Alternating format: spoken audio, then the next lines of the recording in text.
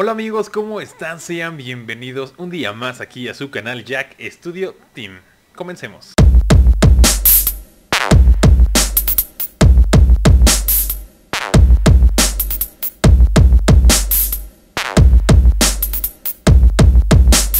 Y pues nada, este es un videito express. Eh, voy a reaccionar a un motor de render que me pidieron, me pidió un suscriptor, eh, Indigo Renderer. Eh, así está. vamos a ver primero qué hay ahorita, cuál es la última versión, qué podemos encontrar. Pues vamos a, reaccionar un poco. Y en YouTube lo que pude encontrar es la versión 4 que salió en el 2017. Vamos a ver qué tal.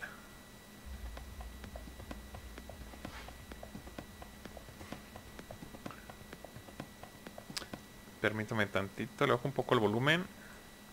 Listo. Ok.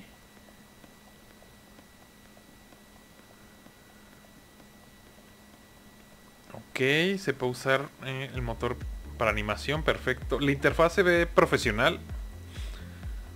Todo el aspecto que se ve ahí, todo esto de acá. Me agrada.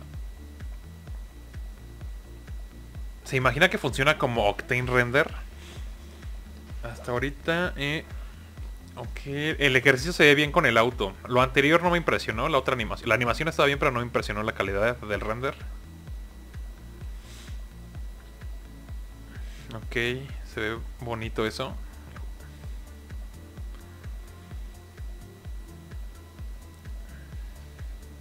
¿Qué más podemos renderizar? Ahorita vamos a ver para qué software está disponible, para qué software de modelado 3D. Vean, pues creo que estamos bien, ¿eh? En calidad eh, realista. No me impresiona los ejercicios que están haciendo ahí. Eso es lo que luego es como, si el programa puede dar para más, pues les faltó como que otro punch. Se ve muy bonita la iluminación. Como les dije, dependiendo de la práctica, mejoran otras cosas. La interfaz me encantó, se me hace muy profesional. No quiere decir que me encante el uso del programa, obviamente habrá que probarlo. Pero cuando digo que me gusta la interfaz, me refiero al diseño, el arte, el arte en sí mismo. No, no que sea intuitivo, esas cosas, ya eso hasta que lo usas.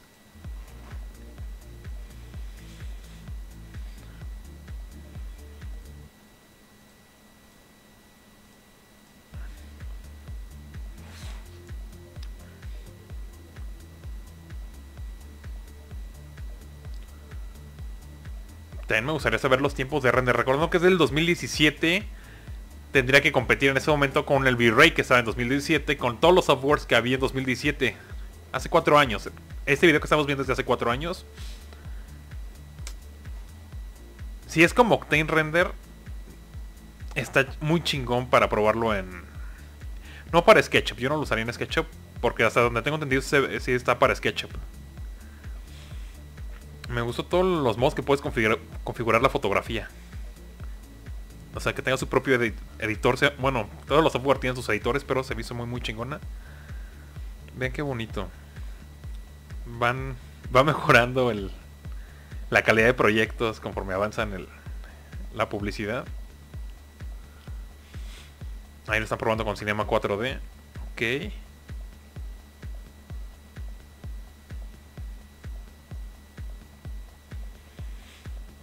Los que lo hayan probado, vayan dejando en los comentarios qué opinan del software. Ok. Hay performance CPU, CPU rendering. Ok, si es. Funciona con ambos. Miren, es compatible bastante bien con AMD. Tengo una limitante. Aquí lo separan Nvidia. Lo ponen AMD e Intel. AMD no se refieren a los al procesadores únicamente porque eh, sabemos que muchos softwares de render no trabajan, no trabajan bien con Radeon. Y aquí no lo separan. Aunque, y Radeon pertenece a AMD. No sé si este software esté optimizado para Nvidia en cuanto a GPUs y solamente y procesadores y sea esos dos. O cuando hablan de AMD sea compatible con Radeon también en cuanto al tema optimizado, ¿no? Porque muchos softwares, aunque no están preparados para Radeon, pueden trabajar, pueden usarlo, ¿no? Pero pero no sé, se me hace medio, medio raro eso. Eh, pero sí, sí. Eh, es que sí está horrible eso. Es como muchos programas no funcionan bien con Radeon. O si funcionan, les bajan mucho el rendimiento porque no están optimizados. Un ejemplo puede ser Lumion, por ejemplo.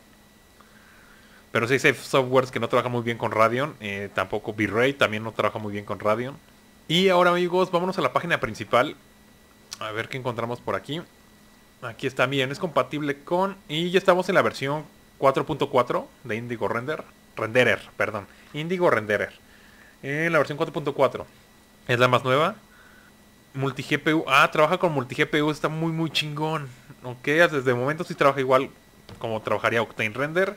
V-Ray también trabaja con multi GPU, pero es distinto, ¿no? No está preparado al 100 para optimizar el GPU. Y, y estos motores son distintos. Si trabaja como Octane, por lo que vi, no es como Lumion o Twinmotion, esos programas donde el estilo del motor de render es bastante distinto.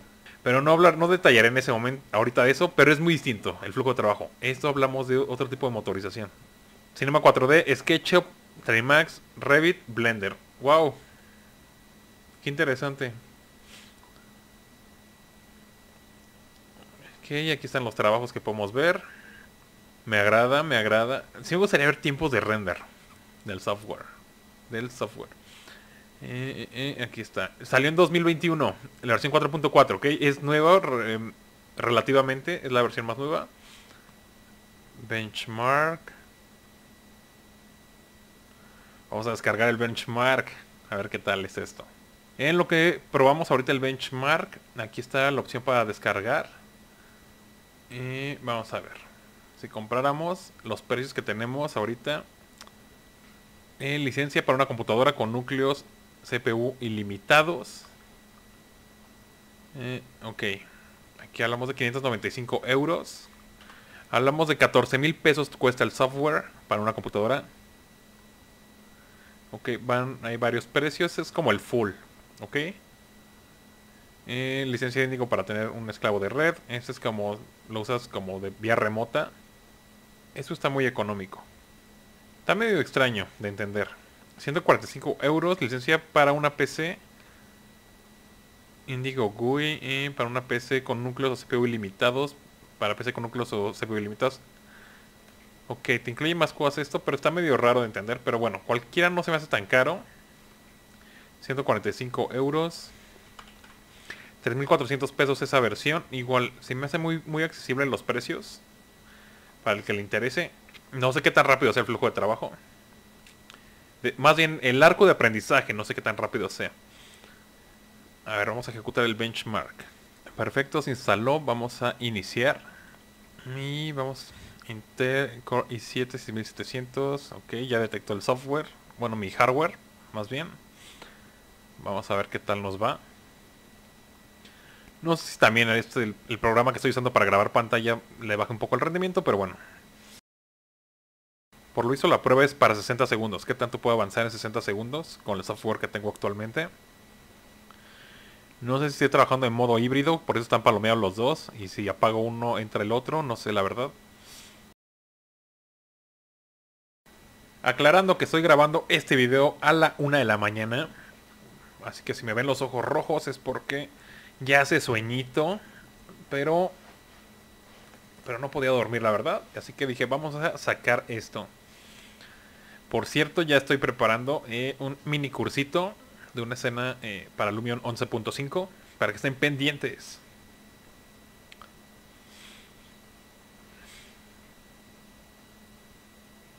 Pues se supone que ya acabó. No, no sé qué tanto. Ah, no.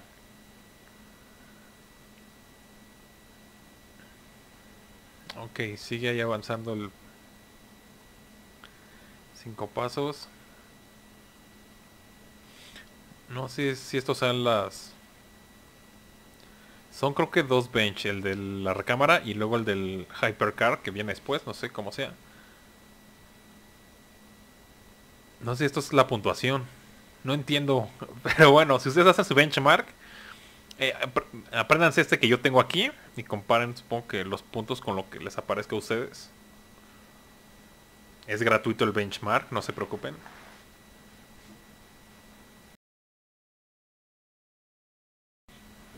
Listo, como les dije, apréndanse el dato de aquí del bedroom.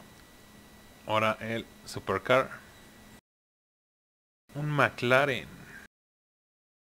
Es un P1. Sí, es un P1. McLaren P1.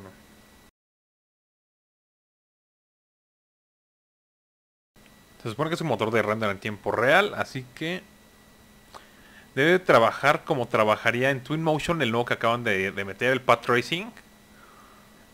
Pero eh, espero esto esté mucho más optimizado que ese Path Tracing que metieron a, a Twinmotion.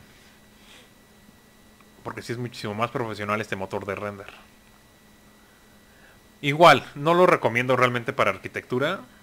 Pero es una opción más. Si tú estás metido en animación, si tú sí manejas softwares como Trimax o Cinema 4D o Blender, se me hace una joya ese tipo de software. El tiempo, el tiempo, yo, yo prefiero esto que V-Ray. Yo de momento ya no me estoy metiendo mucho con V-Ray. Eh, obviamente lo van a defender muchos, pero los que lo defienden son los que no conocen otro software. Pero si es para... No sé, yo si trabajara mucho con Cinema 4D yo me quedaría con este o con Octane sigo apostándole más a Octane Render que este, pero... Pero me... Los tiempos están muy rápidos, ¿eh? Están resultados.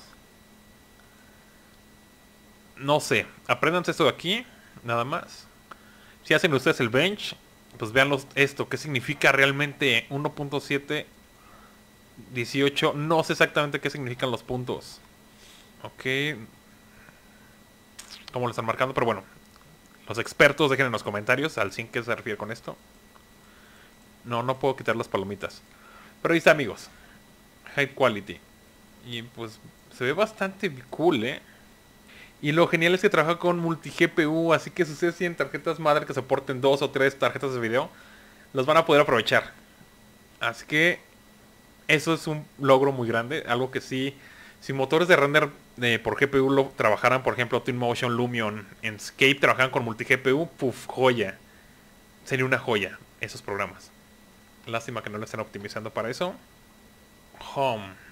Pero bueno amigos, los resultados ahí están. Obviamente, pues... No, no es tanto el motor de render. Depende... Eh, completamente va a depender de, de su trabajo de ustedes, de que tan artistas sean ustedes, realmente. Indigo Render era otra opción más. Hay más softwares que me falta reaccionar, como Redshift, softwares que sí conozco, pero motores de render que conozco, pero pues nunca he reaccionado realmente a estos. Este sí me agradó, ¿eh? La interfaz me agradó. Obviamente, pues, es probarlos. Obviamente no voy a meter a trabajar el programa, ¿no? No, no me dedico al, al estilo que va destinado esto. Si sí me metiera más a hacer animación algo más complejo que he llegado a hacer, pero solo ejercicios personales. Me meteré más a estos nuevos motores. Pero de momento para arquitectura yo estoy bien con Enscape y con Lumion. De 5 hago mis prácticas de vez en cuando, pero no me ha atrapado muchísimo el software. Sé que para interiores va a estar mucho mejor, pero me gusta más eh, lo que puedo hacer con Enscape en tiempo, en lo que puedo hacer con los softwares sin tener que depender de estar exportando, refrescando, etcétera. Eh, siento que está muy bien trabajar para render estático, claro está. Para recorrido virtual, pues yo estoy feliz con Lumion. Sé que D5 es más rápido. Ya hice las pruebas con RTX. Y Twinmotion sí no. No, no, no me atrapa el programa para nada. No me ha atrapado. Pero bueno amigos, eh, espero les haya gustado. Indigo Renderer. Ya saben, el precio está bastante accesible. ¿eh? Yo sí me animaría. Si te vas a dedicar a render de, eh, de muchas cosas, ¿no? No solo eh, lo que es... Si solo te dedicas a arquitectura, ArchViz principalmente, render para arquitectura, no, no se me hace la gran opción en flujo de trabajo, no el realismo. Obviamente el programa, si te adaptas, puedes trabajarlo espectacular. Si lo sustituiría por un V-Ray, por ejemplo. Si lo sustituiría por V-Ray al día de hoy. me gustó mucho el editor de Super... Ese ve que está intuitivo, esa parte del editor de fotografía el de corrección de tonos, toda esta parte de... Está, está espectacular, mucho, súper intuitivo. Sé que lo puedo hacer en V-Ray, si lo usas para Trimax, las cámaras están súper geniales. Pero esto está súper intuitivo, vean eso, vean esta parte de aquí, está súper guau. Y pues nada amigos, espero les haya gustado este video. Eh, suscríbanse, activen la campanita, dejen los comentarios, los que ya lo conocías, no lo conocías. ¿Hay algún motor de render que no haya compartido en el canal que te gustaría eh, que hiciera mi reacción, mis comentarios? Déjalo eh, de favor. Y también el próximo video estaría reaccionando a de muchos de los Instagram que me mandaron los suscriptores. Voy a estar reaccionando a su trabajo y compartiéndolo con ustedes también para que conozcan sus Instagrams. Y pues mi, reacción. Eh, les recuerdo, activen la campanita para que cada semana les llegue notificación de que hay video nuevo y se enteren un poco más del mundo del render, del diseño y de la arquitectura. Yo soy Franz amigos, me despido, soy arquitecto, soy gamer, hasta luego y bye.